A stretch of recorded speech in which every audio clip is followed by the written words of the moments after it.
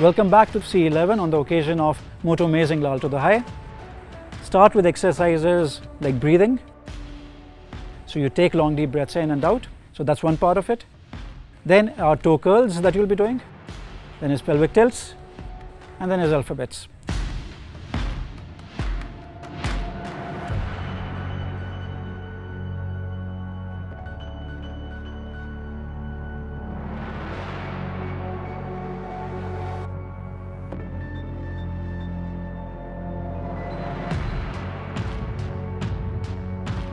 And that's about it. That's all you need to be doing today as far as walk run is goes and exercises go.